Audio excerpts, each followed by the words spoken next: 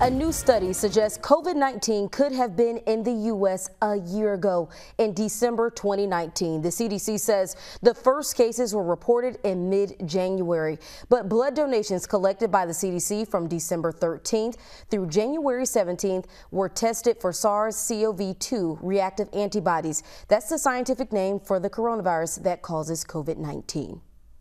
Of the 7,000 samples tested, more than 100 were found to have antibodies for SARS-CoV-2. Good evening and thank you for joining us here on BNC Prime. I'm Brittany Jones in for Fred Hickman. Reporting live in Philadelphia for the Black News Channel, I'm Joy Clark. Thank you, Dre, for that report. Well, people are starting to become more hopeful as coronavirus vaccines are getting ready for distribution. San Antonio could get a supply as early as mid-December, but there are phases to this vaccination process. Some people concerned about what the vaccine entails, its side effects, and when they'll be able to actually get it. Courtney Freeman reports. The current Protesters say there's no place in Joe Biden's cabinet for Los Angeles Mayor Eric Garcetti. As Anita Bennett reports. Welcome back. To date, we have not seen fraud on the scale that could have affected a different outcome in the election. Those were the words straight from U.S. Attorney General William Barr's mouth today. This after President Trump has made claim after claim of election fraud. Joining us now to talk more about this is our chief legal correspondent, Dr. Laura McNeil. Thank you for being with us. Thank you, Brittany. Well, Dr. McNeil, first, Attorney General Barr's statement says a lot, but can you tell us a little more about the lawsuit Trump's legal team filed in the state of Wisconsin today, despite Barr's announcement? Yes, I have to admit the timing of Barr's announcement is, as we say, poetic. Uh, essentially, what this recent lawsuit in Wisconsin is alleging is that the Wisconsin election officials altered uh, certification of absentee ballots. What does that mean? Well, it means that some ballots were submitted that maybe were missing the address of a witness that was required to certify or, or witness that you actually signed the absentee ballot. And so, with some of the Wisconsin election officials allegedly did is they said, you know what, we're going to look up this person's address. If it's in it's part of public record, we're going to go ahead and add the address. And so the Trump administration is saying that violates Wisconsin law and that those ballots should be turned should not be counted. Um, additionally, another claim, as an example, there's several claims in this lawsuit uh, that uh, was filed today, is that the events that were held that were called Democracy in the Park, essentially an opportunity for individuals to cast their absentee ballots, were held in locations that were not approved polling stations for those election counties. And so I could go on and on. Essentially, Trump's uh, legal team, what they've done is they've thrown any and every possible uh, legal claim, hoping that one of them will stick. And as we've seen for the past weeks post election, none of their claims have stuck. They've all been frivolous claims. Uh, one judge after another have thrown their cases out because they lack merit, and there's simply no evidence to support their claims. And since Wisconsin is considered a battleground state, is there any possibility that this lawsuit might impact the election? Uh, absolutely not. It's, it would be a complete long shot. The reality is, Wisconsin, like many battleground states, has already certified their election results. And the election law is very clear with respect to this area. It says that if you cast your state, meaning the state, uh, certifies their election results by December 8th, that they can't be challenged. Congress is legally bound to accept Wisconsin's election results because they met that December 8th deadline. And so, really, what I think is happening is that President Trump is looking ahead. I think this is pure political strategy. Uh, there was a recent report today in the New York Times that stated that his campaign has raised $170 million since the election. Um, so, I think this is just another attempt to continue to rally his base for a possible possible 2024 run, um, as well as making sure that he maintains that stronghold he currently has on the Republican Party. Hmm. So why do you think the presidential, the president's legal team is targeting only two counties in Wisconsin as opposed to the entire state?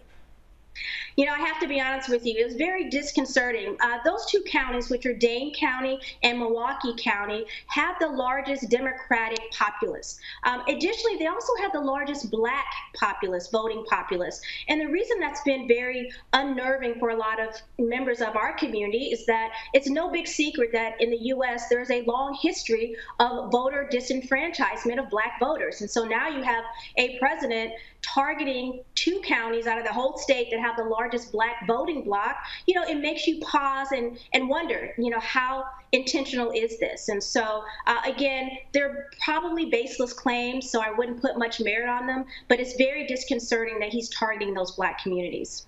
And lastly, Dr. McNeil, we know that the majority of states such as Georgia and Arizona have their certified have certified their results, their election results rather. What can we expect in the days ahead as we draw closer to the December 14th electoral college vote? Well, Brittany, as my father always says, if you're not careful, history has a chance of repeating itself. And so I think we're going to see a repeat of additional lawsuits being filed uh, by President Trump. Again, if we see the same pattern, they will be frivolous lawsuits. But what's more concerning and what we really need to keep an eye on is to make sure that our electoral college process is not compromised in any way, shape, or form. Uh, we all know the 2016 uh, presidential election, there were more than five faithless electors voters who did not vote based on their state's populist vote. So I'm really, really concerned about that, and I think it's very important for us as Americans, as voters, to make sure we keep a close eye on that process. I guess we got to wait to see what happens. Dr. Laura McNeil, thank you so much. Thank you. Well, still to come tonight, if you're planning on shipping something to a loved one, you may want to get a move on. There could be some delays this year. We'll tell you why coming up next.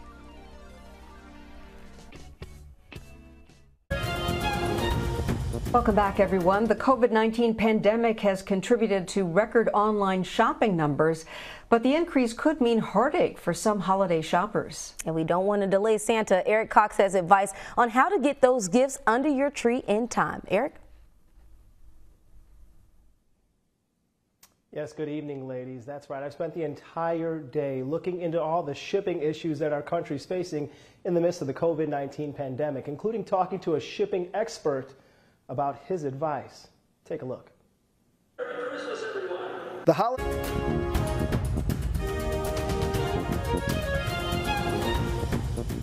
Today is World AIDS Day, a day to remember all those lost to the virus, but also a time to celebrate how far society has come when it comes to research and medication. Yeah, so one group in New York City focuses on helping newly diagnosed people learn to live with the virus. Ashley Lyotis is in New York with more on Alliance for Positive Change. More than like uh, putting the animals on Noah's Ark, uh, taking them out two at a time. You know, we are fighting to say that they don't take any of our children by using excessive use of force. The vehicle Death of two teens has left a South Florida community devastated. This dash cam video on your screen from the November 13th incident shows the fatal moment a deputy fired into the car, killing 18-year-old Sincere Pierce and 16-year-old Angelo Crooms.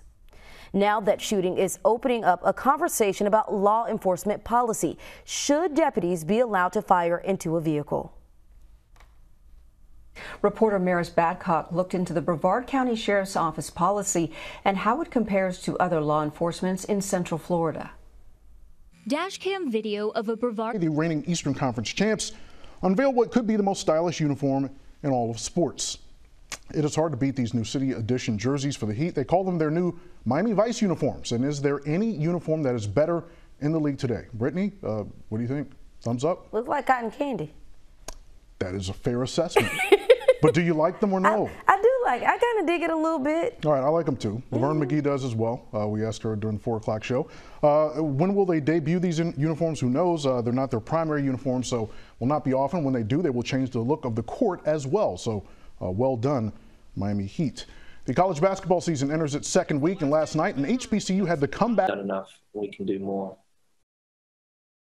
All right, so Brittany, uh, this guy a champion both on and off the track. Uh, we certainly wish him a speedy recovery uh, as he will miss the first race of his F1 career this weekend. Uh, again, it's a career that has seen him now capture seven F1 titles that is tied for the most all time. But this is a guy who is just loaded with money, uh, net worth through the roof.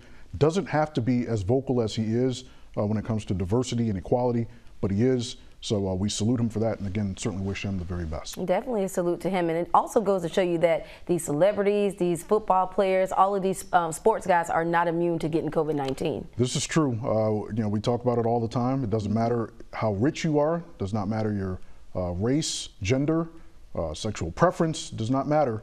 Uh, so uh, as he echoed, we echo what he said in his statement there. for everybody to be safe and take the proper measures to protect yourselves. All right, thank you, Anthony. We're going to take a short break.